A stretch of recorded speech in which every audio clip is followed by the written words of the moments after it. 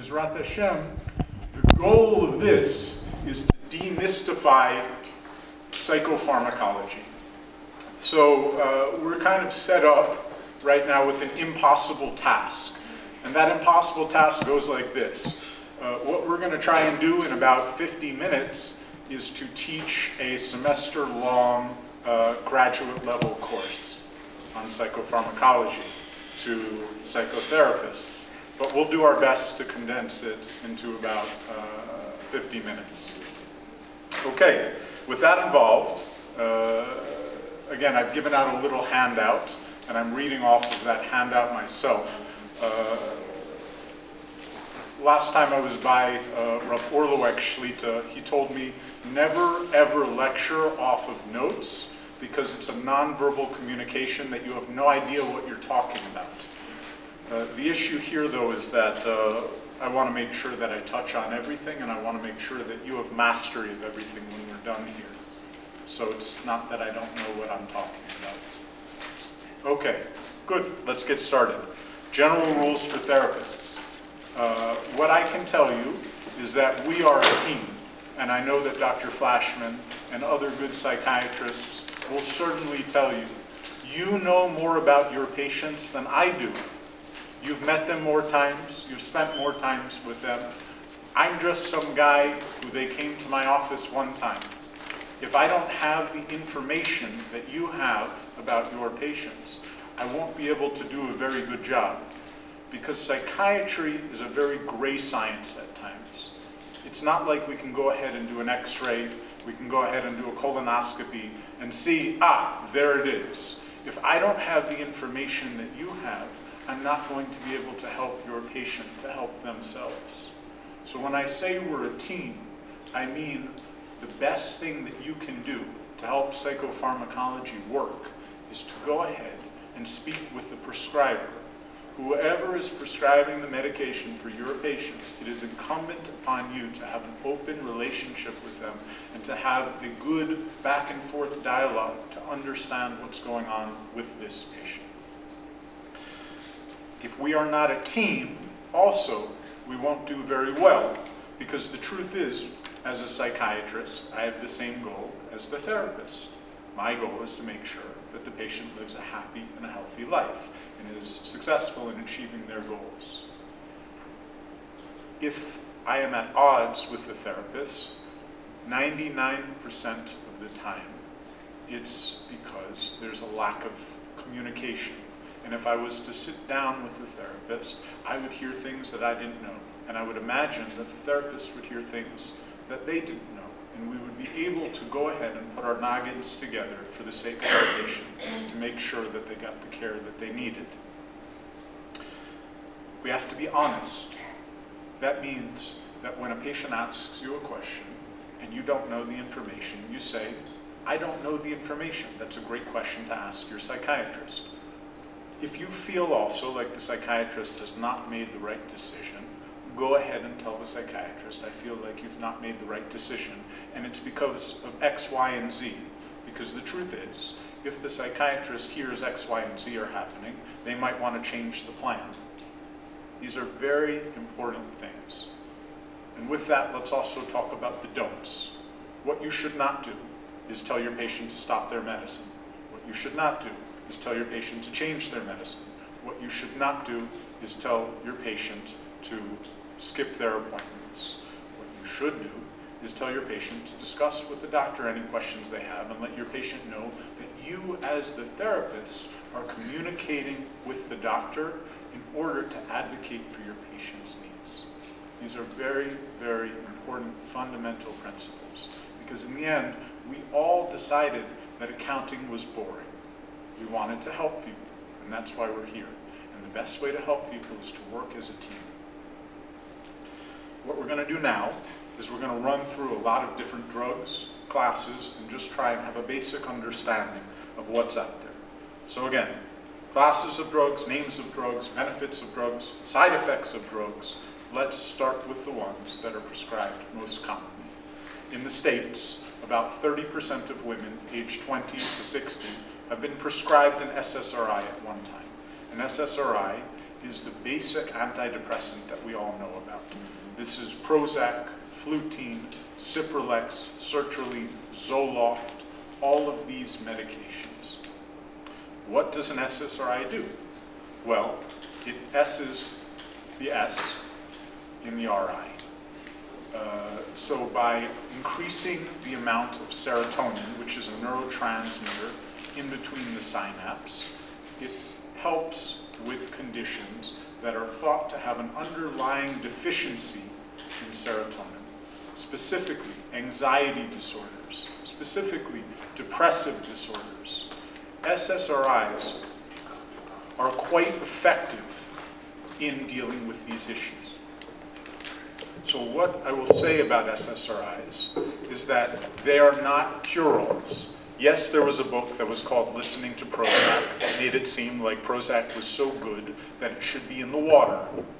But what we know is that even fluoride doesn't necessarily have to be in the water if you're willing to go see Dr. Abramson, Stern, Prenzlau, or anybody else good who has a dental office in the area.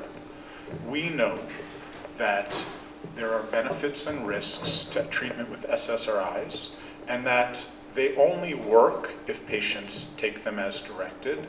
And furthermore, SSRIs uh, are most effective in patients with more severe illness. For patients with limited dysfunction, SSRIs are not that effective. What should you know about a patient who's being treated with an SSRI? you should know that SSRIs do not work immediately. Most of the time, a patient will have to start with a lower dose. That dose will be increased over the course of a few weeks.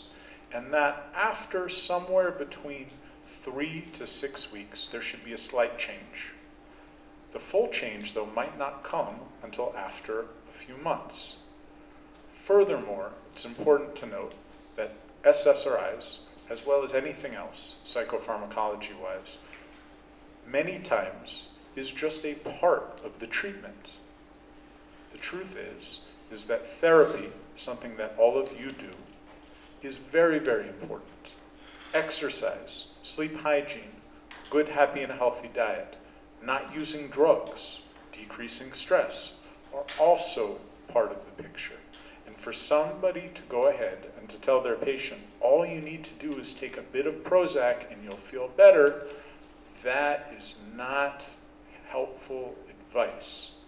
When a patient is told, as part of your treatment plan, Prozac might be helpful in conquering your anxiety, depression, OCD, trauma, that is a helpful statement. What are the side effects of SSRIs? The main ones, besides the 5,000 that you'll read if you Google Prozac, sertraline, Cipralex, are stomach problems. One in three people will have a bit of stomach problems. Maybe they'll feel like they want to throw up. Maybe they'll have to run to the bathroom a bit faster in the morning. I generally advise people to go ahead and to take it with food or without food, whichever makes your stomach feel better. And I let them know that within a week or so, most of the time, that feeling goes away about one in four people will have notable sexual side effects. This is more important in men. We don't need to have a discussion about why that is, but it is also important in females. Uh, if your patient is experiencing sexual side effects from taking an SSRI, this is a very important thing for them to discuss with their doctor because based on how a person uh, takes this medicine, it can be easy to avoid these side effects with some simple uh, switches in the way that it's taken, especially in the frum community. Take it in the morning on the day uh, of the mikvah instead of by nighttime, things like that. We'll talk about it. Okay. One in a hundred people who takes an SSRI uh, will have a bad reaction. Uh, this is where the black box warning for suicidality comes in also people will essentially have a manic flip. So somebody who has bipolar disorder and takes these, somebody who has psychosis and takes these, is at a great risk uh, of developing a bad, bad reaction with a ton of energy, not wanting to sleep, talking fast, feeling out of control, grandiose ideas, spending, traveling to Las Vegas or a lot. Uh, we know that this is mostly in people who don't have a pure depression or a pure anxiety. This is more in people who have a more complicated medical illness, specifically something like bipolar disorder. That being said, it's important to go ahead and have this discussion with the psychiatrist as a therapist. If your patient, you believe, has bipolar disorder, it's important to communicate that with the psychiatrist. That way, when the patient shows up and says, I'm feeling depressed, which they very well might be, that the patient will not be prescribed an antidepressant, specifically an SSRI in some cases. There are other antidepressants out there, although most of us will see patients who are treated almost exclusively with SSRIs. There's also bupropion, which is Wellbutrin. This is a medication that's also FDA approved for the treatment of ADHD. This is a medication that has theoretically less sexual side effects. This is a medication that increases energy for patients that feel kind of sluggish. And this is a medication uh, that can be a good choice for folks that have a mix of depression and ADHD. Theoretically, Wellbutrin will increase anxiety, so it might not be a good choice for folks who have an anxiety disorder. And it's important to note that Wellbutrin will not be a good medication for folks who have an eating disorder. It's important to note that Wellbutrin does increase blood pressure in many patients, and it's important to note that some people will snort it if they're in the ages of about 15 to 25. What else is out there as far as antidepressants is concerned? There's mirtazapine, which in the States is called Remeron, and here it's called Miro. This is a very good medication for certain types of patients. For older folks who aren't eating so much, who aren't sleeping so much, this is a great medication. For younger folks who are already eating a lot and sleeping too much, this is a terrible medication. That's because the main side effects are that it makes people tired and hungry. That being said, for many patients who have a tough time regulating their sleep cycle, this can be a great medication in the beginning. Trazodone is another medication that puts people to sleep, and there are tricyclic antidepressants out there amitriptyline, clomipramine. These are medications that sometimes are used because they facilitate uh, also treating chronic pain conditions. There's also Cymbalta and Venla, venlafaxine, which are a bit more complicated medications because they work both on serotonin and norepinephrine. A lot of times, though, these are effective medications for patients that have chronic pain problems, that have substance abuse problems. What else is out there? Another big class of psychopharmacologic agents is mood stabilizers. The most common one is lithium. Lithium is the best medication. The only problem is that eventually it fries people's kidneys, thyroid, and a lot of other stuff. For a patient who is compliant, it is a great idea because they have to do blood tests, and it's easy for a psychiatrist who takes achrayas for their patients to make sure that the patient is taking it correctly and ensuring that there's a lower risk of side effects by measuring the functioning of various organs. Lithium is a great antidepressant in bipolar disorder. It's a great anti-manic drug in mania. But again, it's a bit complicated because the blood levels have to be calculated. It's specifically complicated in the Frumwelt at this time of year because, let's do the Socratic method for one sec. Who wants to be a hero? Why is lithium difficult at this time of year? That, who said it? Because people who fast, their lithium levels shoot up very high and they can have acute problems. Sometimes a patient who takes lithium, who doesn't eat or drink for a day, can have serious kidney problems. When their level goes up, they might start vomiting, they might have seizures. It's very important if you're a therapist and have a patient who has bipolar disorder and is taking lithium to ensure that they talk about it with their doctor and plan out what to do on tinus. In addition to talking about it with their Rebbe, of course, in order to obtain a heter when necessary. What are the other medications in the mood stabilizer class. They're anti-epileptic drugs, specifically lamotrigine, carbamazepine, and Depalept, Depakote valproate. Uh, the anti-epileptic drugs. So these are medications that were originally created for people with seizure disorders. These medications do a very good job of making people tired and of stopping mania, but they don't do such a good job of stopping depression in many cases. These are also drugs that have blood levels that have to be measured, and it's a bit of a challenge. These are also drugs that in many female patients won't work too well because they have teratogenic effects, so they can cause birth defects. That being said, it's always a discussion of milas and chesronas, and a good doc from the psychiatry field and a good doc from the OBGYN field could have a good team discussion about how to support a patient and better understand the milas and chesronas. Antipsychotics are another class of medicine, and there are old-fashioned antipsychotics and newer antipsychotics. We'll talk about the newer antipsychotics first because the newer antipsychotics also are called mood stabilizers. For example, Aripiprazole, aripiprazole, Latuda, lurasidone, Seroquel, quetiapine. These are all medications that can be used in bipolar disorder. Zyprexa, olanzapine, risperidone, Invega Sustenna. These are all medications that do a very good job of treating mania because they make people tired. They make people tired, and then they sleep more, and they get better when they have bipolar disorder.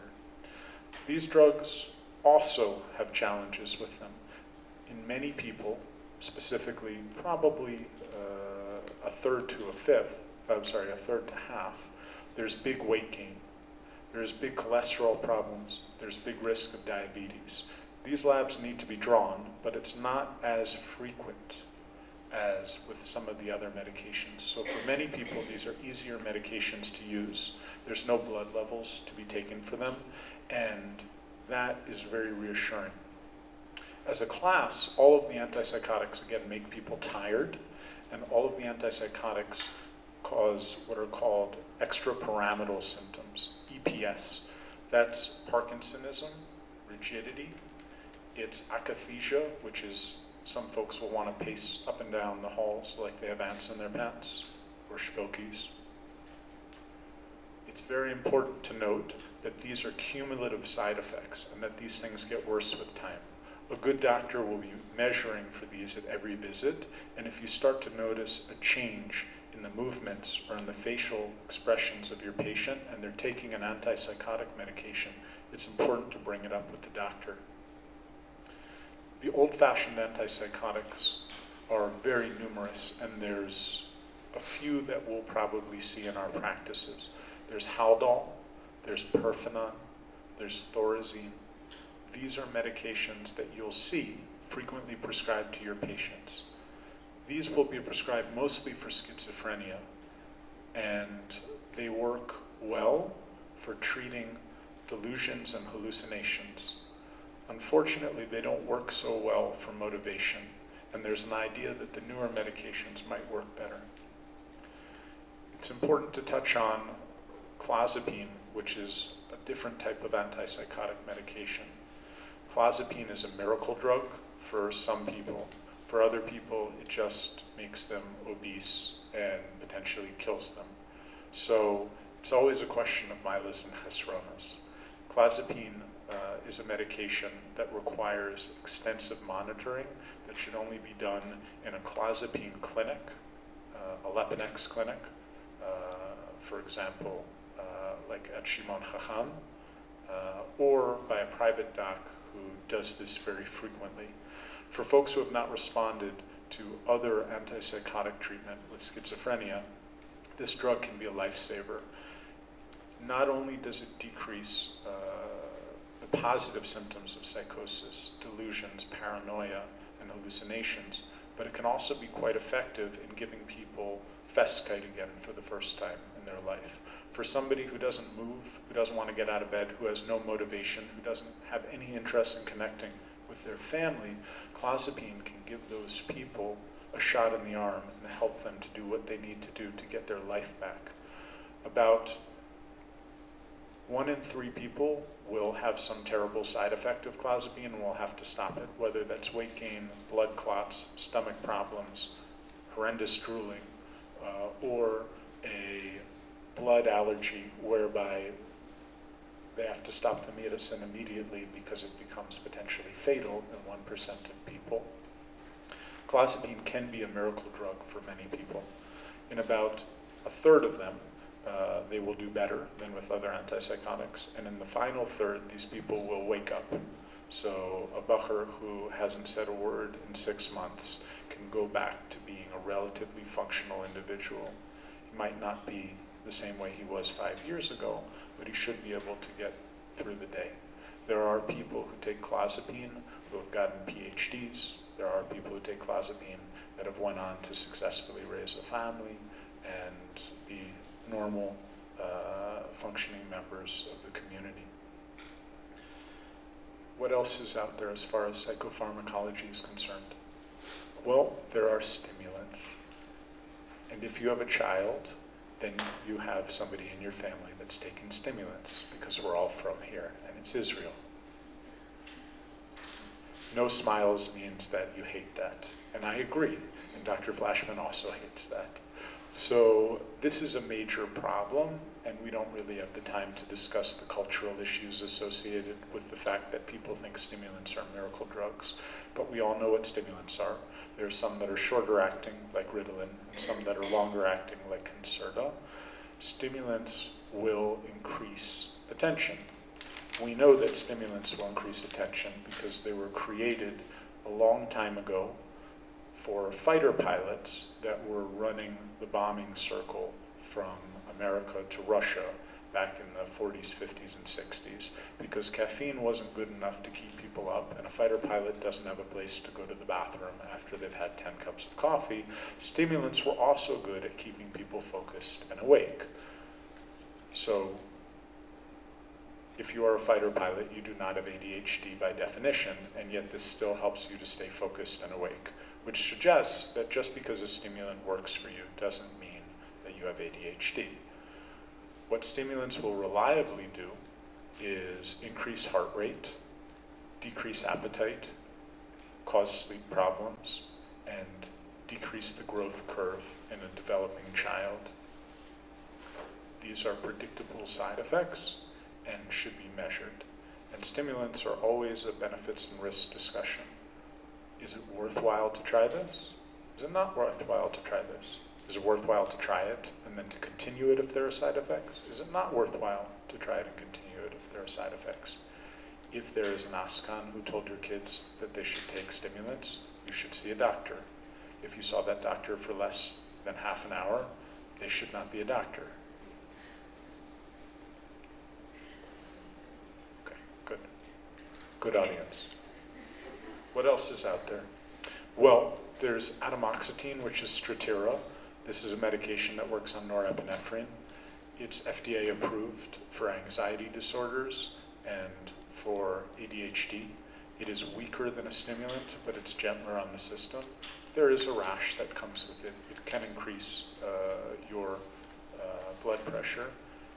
But this is something that many people might want to recommend uh, their patients discuss with a psychiatrist if a patient is unable to take stimulants for various reasons. There are benzodiazepines, which are also a, wicked big problem. Benzodiazepines are Ativan, Klonopin, clonazepam, Clonex, Valium. These are medications that work incredibly well on the GABA receptor, which is the main inhibitory neurotransmitter in the brain. When a person takes this, they will automatically feel like they just had a shot of high quality whiskey, a glass of nice wine, or their favorite Sam Adams seasonal brew. It works really well, which is why people inevitably want to take it more and more and more and more. So benzodiazepines are great short-term solutions for somebody who's having terrible panic attacks, for somebody who's acutely manic or psychotic and needs to sleep. For somebody who's acutely agitated, benzodiazepines can be a lifesaver for these patients, but they are not good long-term solutions. They reliably cause tolerance and withdrawal. So when people are taking them, they'll need to take more over time to get the same effect. When people are taking them and stop them, they will feel anxious, agitated, and potentially develop seizures, depending how much they're taking. This is a major problem as well. In older patients who take Clonex, they're at risk of falling, which is more dangerous for a woman above the age of 55, a fall or a heart attack. I set that one up. A fall. The mortality is greater for a woman above the age of 50 from a fall than for a heart attack. So we have to realize that these medications impede cognition, cause sedation, also cause falls. What else is out there? Well, there's a bunch of wacky stuff, like vitamins and homeopathic stuff. And if you want to throw away your money and go to a homeopathic doc and encourage them to do usser things within the Frumwelt, you're welcome to. But if you're interested in taking that homeopathic doc to Beis Din or to a secular court for making false promises, you'll win. And I'll be happy to testify that there's no basis for this. And there's also no basis in halacha for tricking people into thinking that homeopathic medicine does anything. And I'm happy to go ahead and have a long discussion with anybody about this because it's nezek l'ravim. But some vitamins are cool, and some supplements are cool too, like fish oil. Omega-3 fatty acids work pretty good in some people. It's not a lifesaver, but for some women who are pregnant, omega-3 fatty acids are protective against postpartum depression. For some people, omega-3 fatty acids can be helpful. They're an adjunctive treatment, meaning it's a secondary thing to use, or a tertiary or a quaternary thing to use. It's not the primary treatment. There are things like valerian root that will help people get to sleep, but we always have to be careful when we're using supplements. And the reason that we have to be careful with supplements is you have no idea what you're getting because it's not regulated by anybody. There's just some cool guy who's from Queens and used to be a hippie who's giving it to you.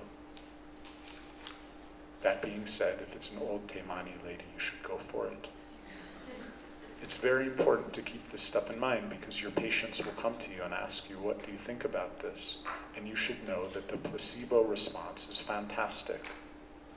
Placebo response is also called in Yiddish, trachgut v'tzaingut, or tachshov tov tov.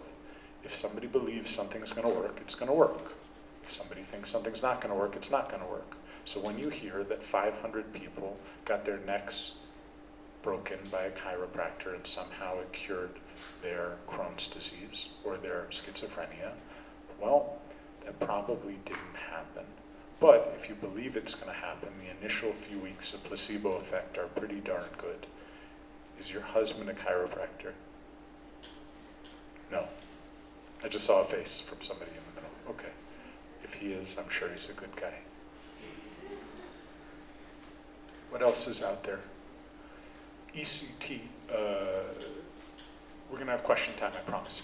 Uh, ECT, uh, shock therapy, one flew over the cuckoo's nest, Kitty Dukakis, uh, electroconvulsive therapy is a life-saving treatment for many people with severe depression, severe bipolar disorder.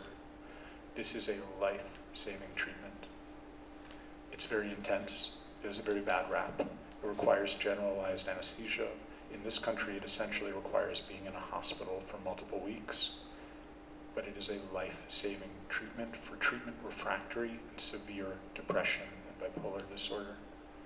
ECT is a shock that causes a seizure that's done by a psychiatrist and an anesthesiologist together. And for people who can't take psychopharmacology, perhaps because they're older or pregnant, or perhaps because psychopharmacology didn't cut it, this is a life-saving treatment. In this country, I believe that it has to be approved by a special board that includes regulatory committees but it is a life-saving treatment. And if there's a patient who's not getting better, it needs to be explored. ECT is not a treatment of borderline personality disorder. And that's a very important thing to keep in mind because many of the people who show up and ask for it do not have the kind of illness that will benefit from it. But for serious depression, bipolar disorder, and some kinds of schizophrenic symptoms, it is a life-saving treatment. TMS, transcranial magnetic stimulation, is something that's really cool, but it's not ready for prime time in most cases right now. Yes, it's FDA approved. It's very expensive, and it's probably not the answer for 95% of people. At some point in the future, it'll get better, and it might be a bigger answer, but for now, it's a great way to waste a lot of money. Okay, have I been iconoclastic enough? Good. Let's talk about some, again, of the challenges with psychopharmacology. There are benefits and risks. The benefits are that hopefully, if it's used correctly, psychopharmacology will help some of your patients with some of their symptoms. To think that it will help all of your patients with all of your symptoms is what my sons would tell me, hypoceret. It's just not going to do that. It doesn't work that well. If it was that good, again, it would be in the drinking water, but it's not. So therefore, it doesn't work perfectly. That being said, some of your patients will be helped with some of their symptoms. And you should know, even if you're a CBT purist for OCD, that SSRIs, for example, will open up your patients' minds and allow them to do the necessary therapy work. SSRIs will allow your patients to show up for therapy sessions. So again, the benefits are there, and so are the risks. It's always a benefits risk discussion, and it's important to note that once a patient takes a medicine, the most important risk for many of our cases is the risk of being a crazy person. Because once you've taken a medicine, you now feel like a crazy person. And it's part of our job as therapists to encourage them to know that you're not a crazy person. You are a person with a brain disease that is taking a medicine similar to a person with epilepsy similar to a person with multiple sclerosis. And if you encourage your patients to decrease that stigma, they'll be willing to take the necessary treatment. We have to go ahead and monitor for effects. Now, that's my job, that's not yours. But if I haven't seen your patient in three months because they missed a few appointments and didn't follow up, and yet they're still taking their medicine, you should remind them to come see me should feel free to say, have you seen Dr. Freedman in the past few months? Because he's supposed to take blood tests for you. And if you wrote down which medications require blood tests, you would know when it's important to send that patient back to me because they haven't been there in a while.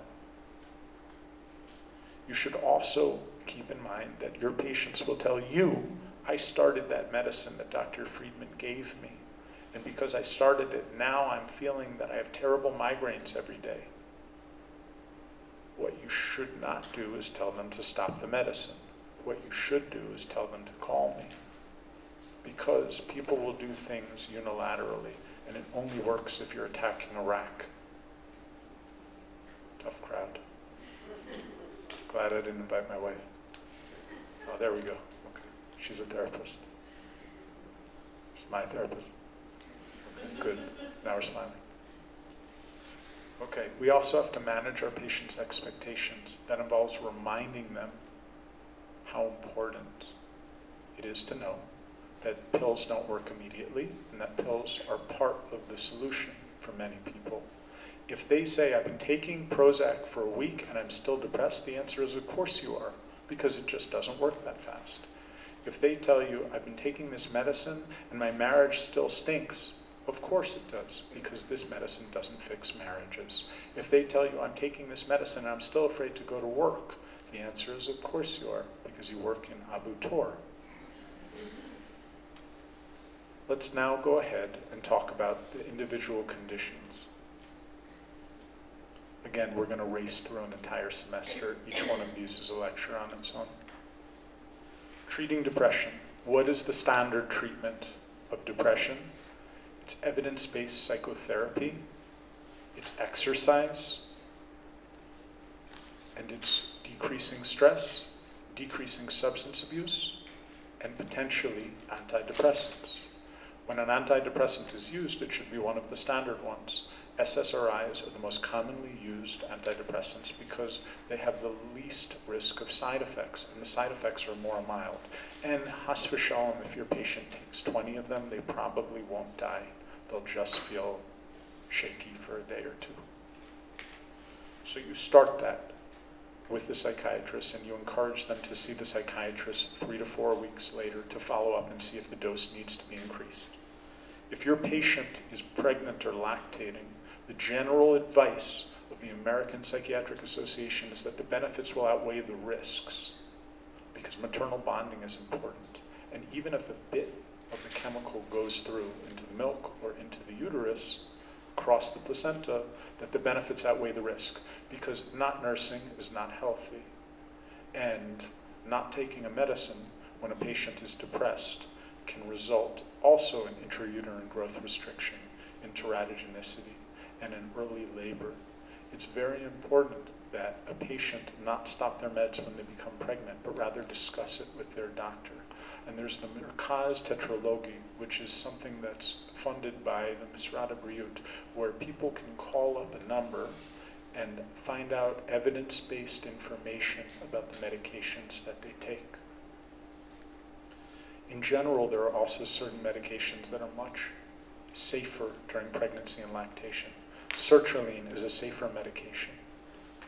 Paxil, paroxetine, is a less safe medication. It's important to keep these things in mind and to work also through when working with a pregnant or a lactating patient that they should see a psychiatrist who feels comfortable treating this patient population and has expertise in psychopharmacology in this patient population. Treatment resistant depression. Again, if your patients aren't better, you can think about adding on other treatments. You can think about adding on lithium to an antidepressant. You can think about adding an antipsychotic. You can think about ECT. You can also just go back to the drawing board and say, is my patient depressed because they have clinical depression or do they have a drinking problem? Do they need to switch their job? Are they involved in a domestic violence relationship? Do they not have depression and rather have schizophrenia? Sometimes just going back to the drawing board is very important because if it's not working, that might mean that we're not treating the correct illness. Treating anxiety the treatment of anxiety is cognitive behavioral therapy, exercise, and sleep. Depending on the situation, the treatment might also be an SSRI. Specifically, again, higher doses for things like OCD in cases of severe anxiety is very, very helpful. Some patients might need doses that are above the FDA approved limit, but that's for docs like Professor Zohar. Nobody knows him. He's good. But he's also a cowboy. So, what do we need to know? Benzodiazepines are not a great idea for the long term. Patients with anxiety will take one milligram of Xanax. They'll take two milligrams of Xanax. They'll take four milligrams of Xanax five times a day. And before you know it, they're in a detox facility.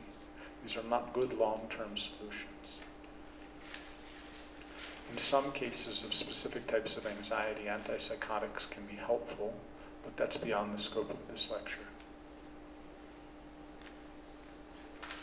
Phobias, just because that's within the context of anxiety disorders. The treatment of arachnophobia is taking a tarantula and putting it on your forehead. Exposure, relapse prevention for everything. That's the way to do it treating bipolar disorder. Bipolar disorder requires medicine. And the reason that bipolar disorder requires medicine is because it is a serious condition. Anybody who's ever treated a patient with bipolar disorder knows that this is the real deal, and it's not funny. For the 1 in 25, 1 in 30 people that have bipolar disorder, their life is destroyed when they have episodes.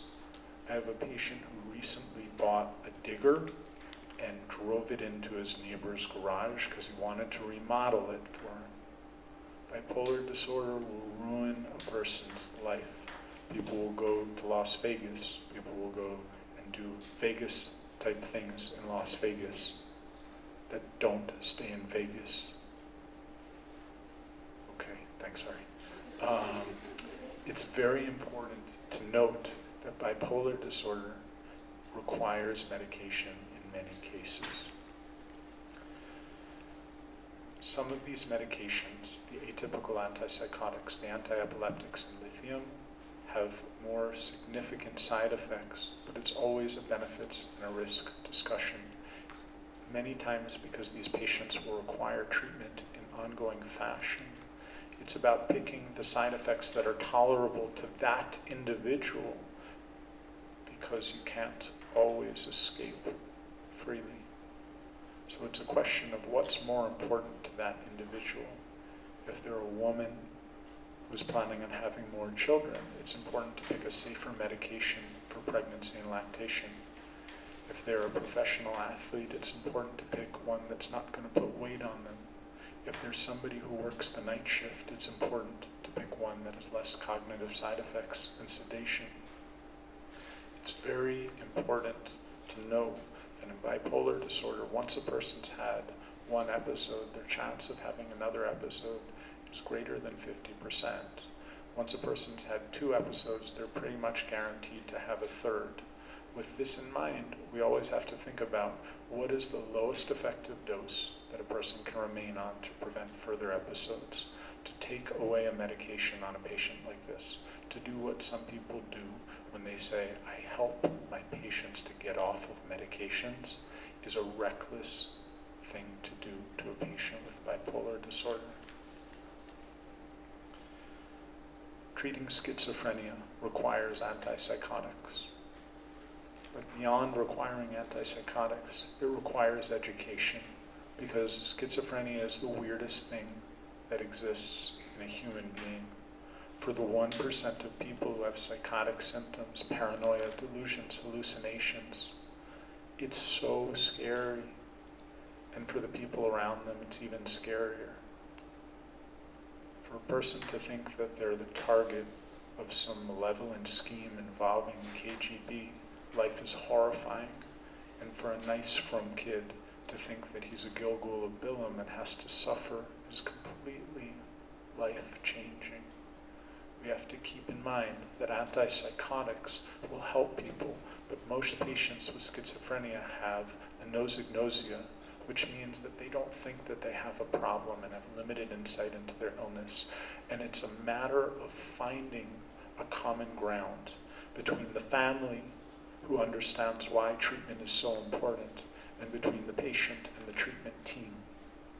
These are patients who need Sal Shikum and Bituach Leumi services. These are patients who need supportive living environments. These are patients who can return to the workforce, to yeshiva and yeshiva shikumi in a vocational setting with support when they have good treatment. I just got an email last night about a patient who got married who has schizophrenia, and it's a big simcha. But the truth is, this was five years of touch and go, convincing the family that he wasn't a bad kid, convincing the kid that he wasn't a bad kid, and them convincing me that he would take his medicine on his own. The emes is that in schizophrenia, we have to work so hard as a team, and everybody has to buy in because it's such a big challenge. Antipsychotic medication, if it isn't working, thinking about clozapine, Leponex, and also keeping in mind that about a third of people European countries will take their medication in the form of a shot, whether it's a risperidone shot, an Invega shot, a Haldol shot, a Reply shot. For people that don't want to take their medicine, but will stop taking their medicine because they don't have a problem, it's so important to make sure that that fight over medicine happens once a month. And if the person can agree to take a shot once a month, now even once every three months with a new medication that's been approved, it can save a person's life, save a marriage, save a family. in patients who have schizophrenia, oftentimes they'll get bad medical care because the doctors don't care about them. And part of your job as a therapist is to keep in mind that your patient who has schizophrenia, who smokes a pack of cigarettes a day, that has a bad cough, could have pneumonia. It's important to note that your patient who has schizophrenia that gained a lot of weight on Zyprexa needs to be checked for diabetes. It's important to note that nobody needs to take 500 different medications, no matter how complex their illness is. And if you see a patient taking lots of meds, which often happens in schizophrenia, it's okay to have a discussion with their doctor and say, you know, I once came to a lecture where somebody said there's really no reason for anybody to be on more than 17 medications at a time. Substance abuse disorders. The treatment of substance abuse disorders is Reb Gershon. Sorry. Anyways, he does a good job. The treatment of substance abuse disorders is sobriety.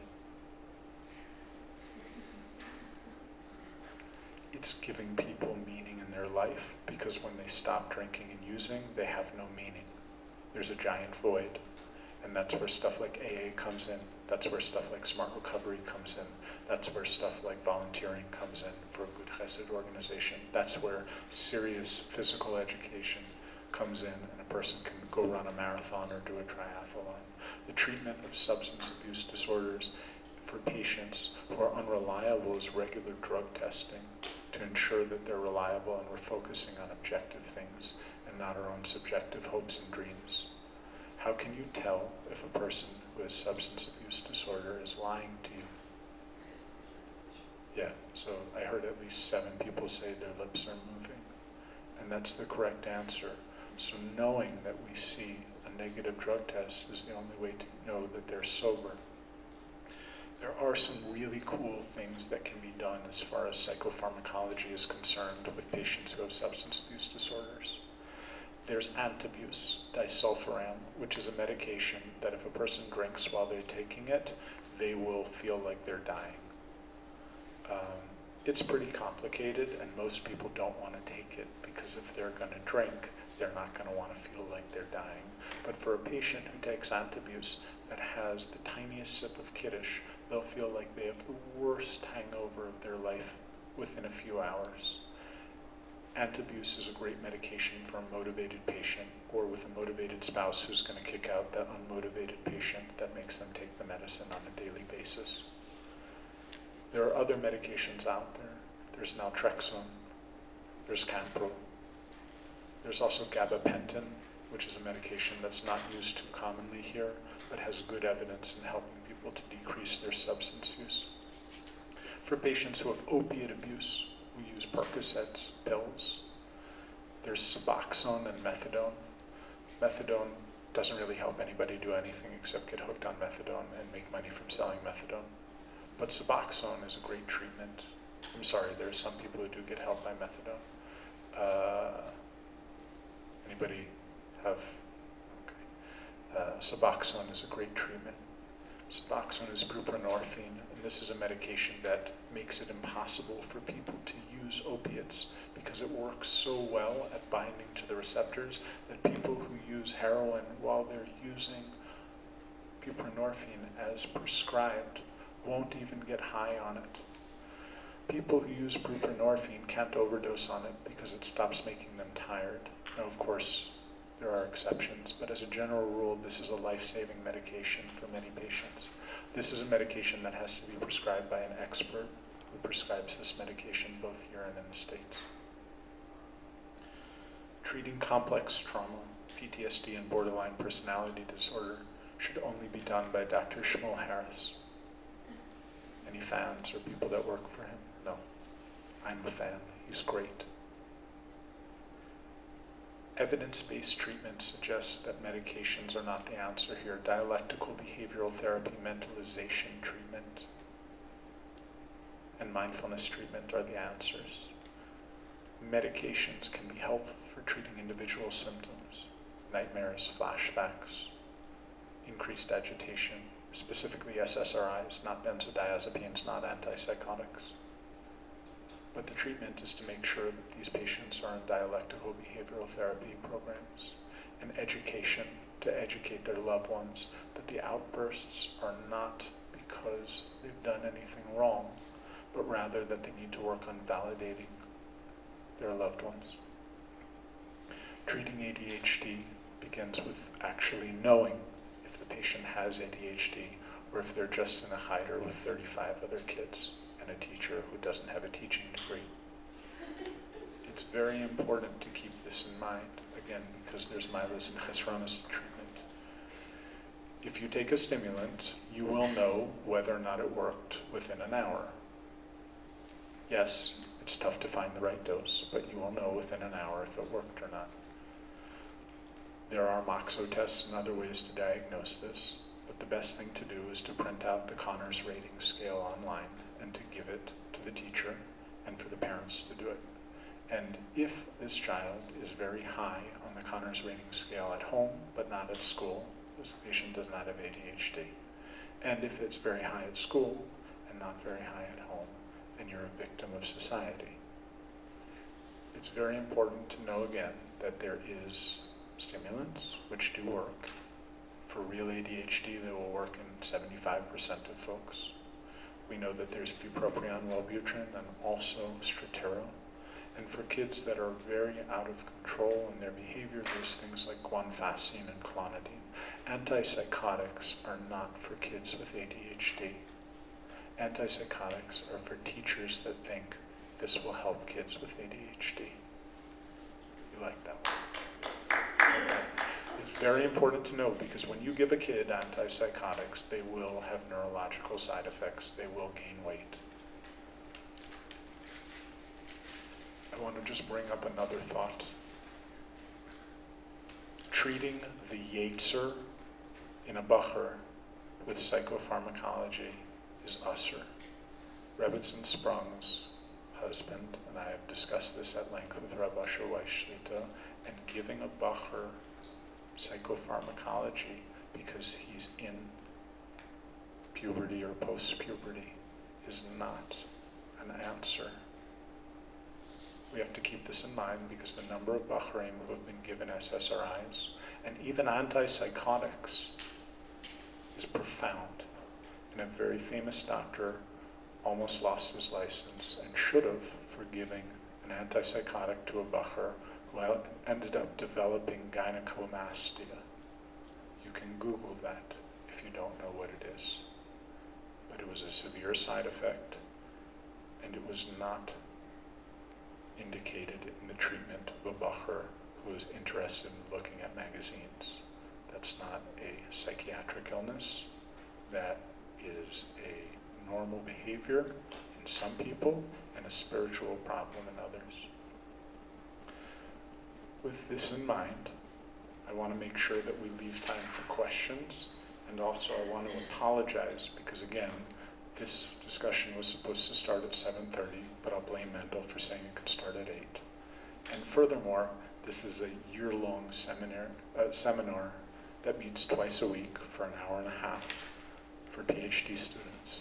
So the fact that we made it happen in about 55 minutes, where I wasted at least 10 minutes with not funny jokes, is pretty heroic. It's been an honor. And please, if I don't know you, be in touch. I'd be happy to get to know you, except for that guy. Thank you.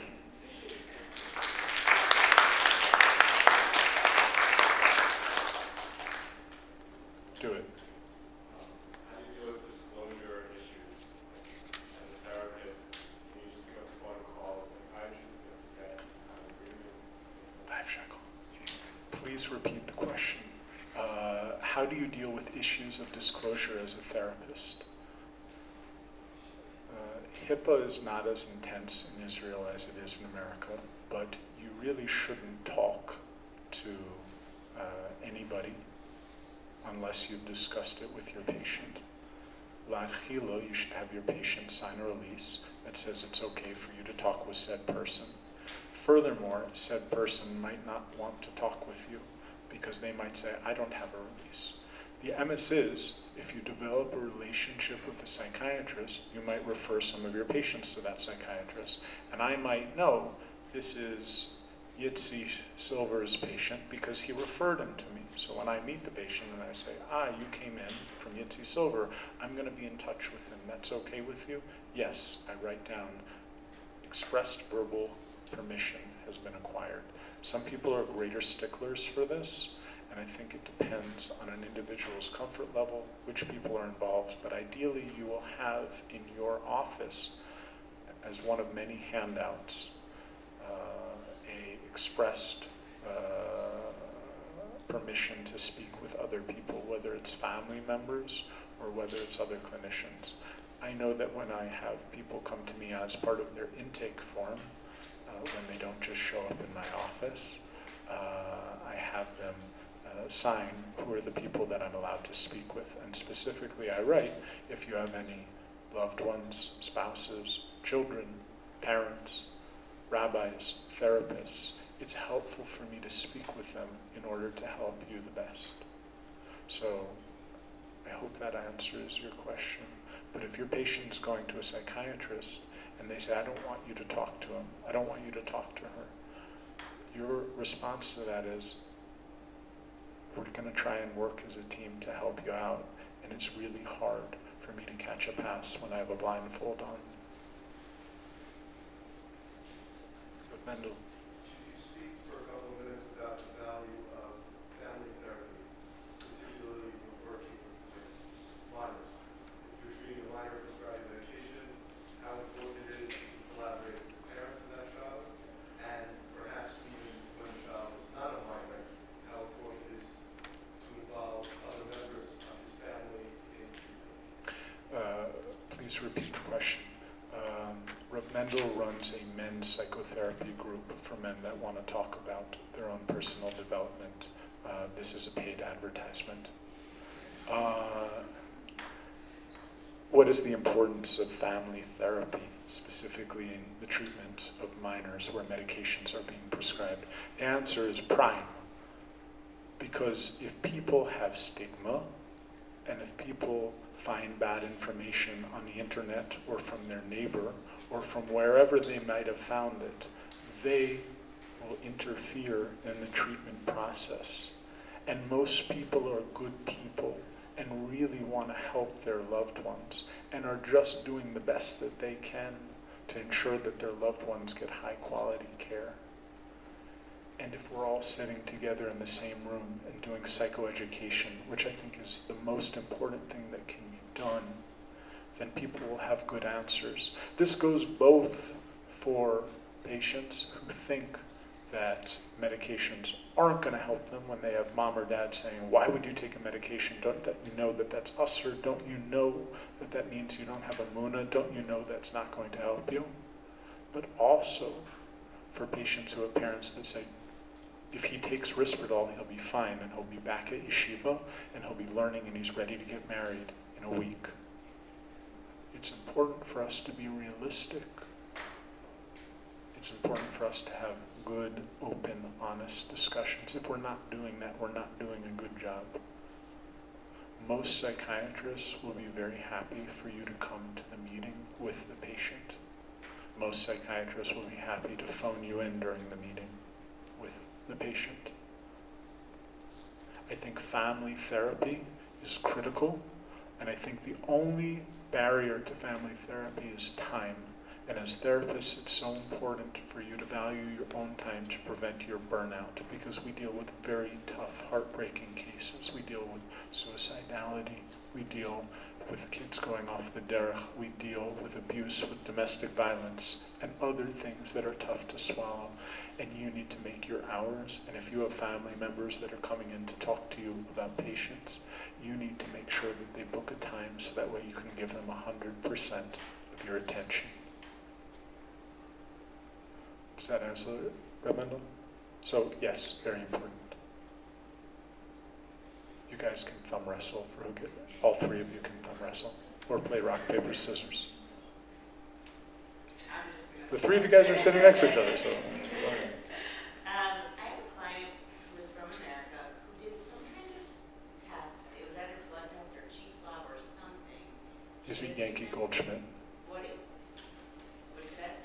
is it Yankee Goldschmidt?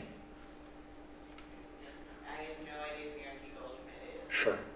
Neither do I. I'm uh, sorry. But, she just kind tested and helped her figure out what she was metabolizing, what she wasn't metabolizing, and helped her find the right medication. Maybe. Uh, so, so uh, what is the mouth swab or the blood test that you can take that will help your doctor to find out what is the appropriate medicine for you? Does such thing exist? What, what is it? So it definitely exists. The question is, does it work?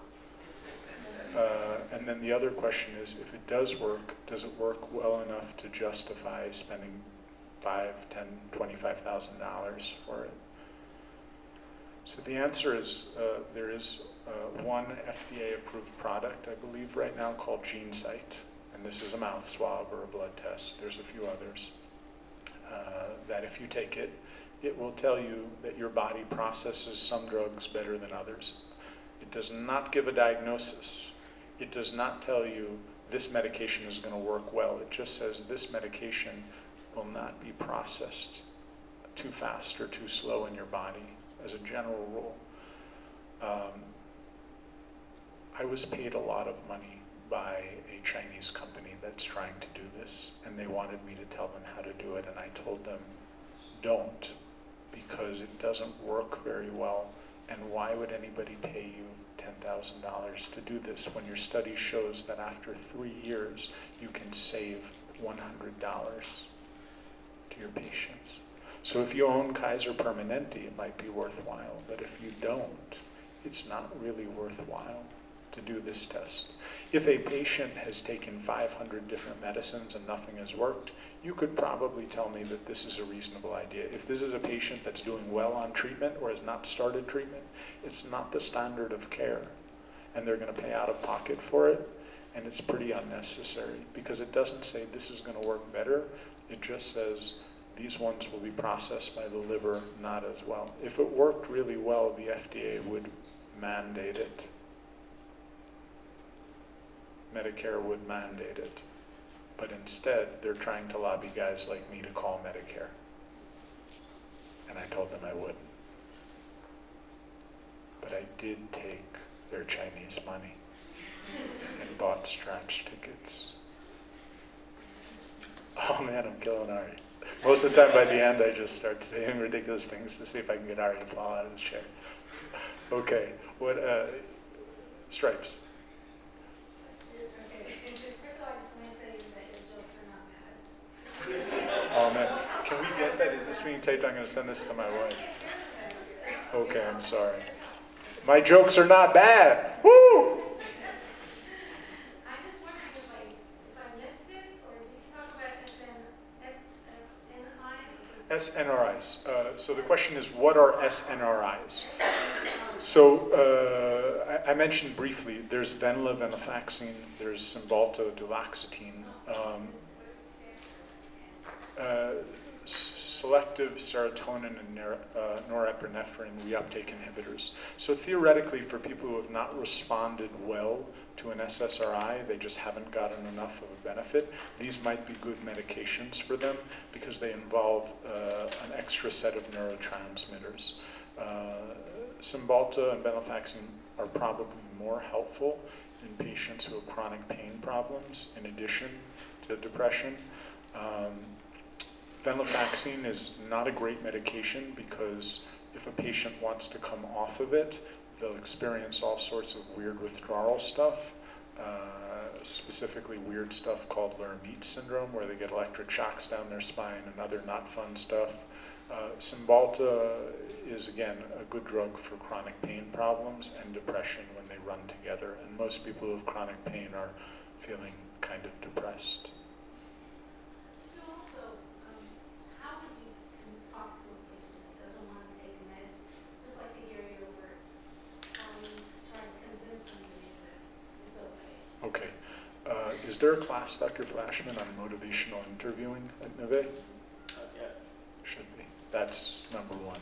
Uh, how do you convince people to do stuff that they don't want to?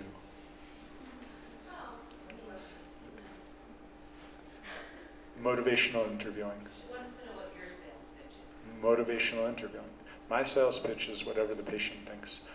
The emes is by the time somebody walks into my office, for whatever reason, they have a motivation to change something. And they have a problem. By the time you've walked in, you've wasted money and time.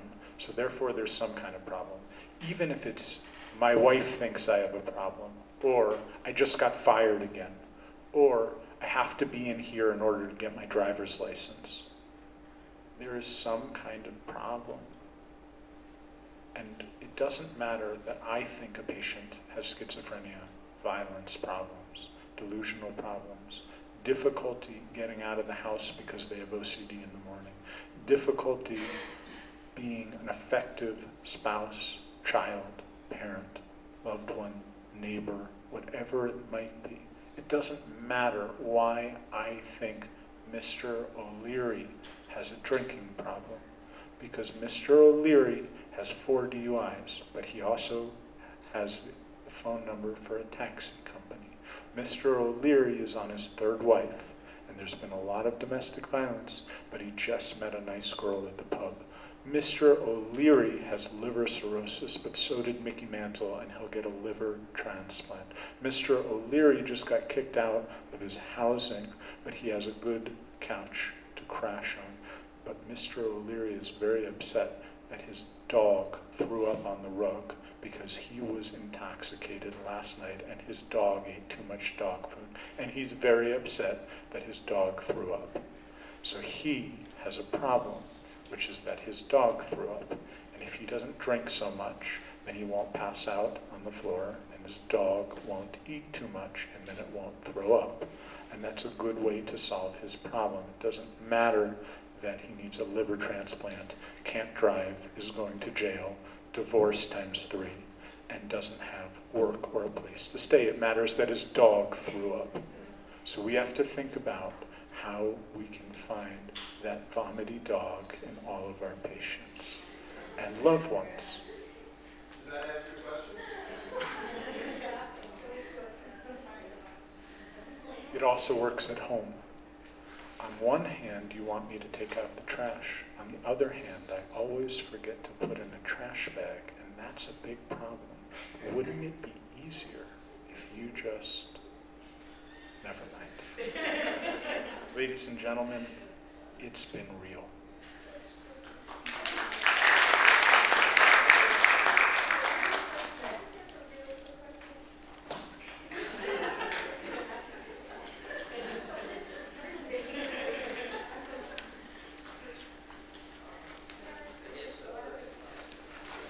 Go ahead, one more.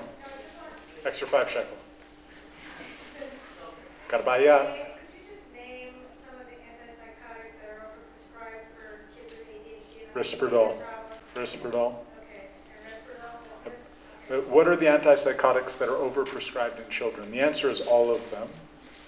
Uh, and, but specifically Risperdal, uh, Abilify, Seroquel, these are medications that are big criminals. But the answer is all of them. There's really no reason to prescribe an antipsychotic to somebody who isn't a person suffering from severe bipolar disorder, schizophrenia, or a violent criminal who has both.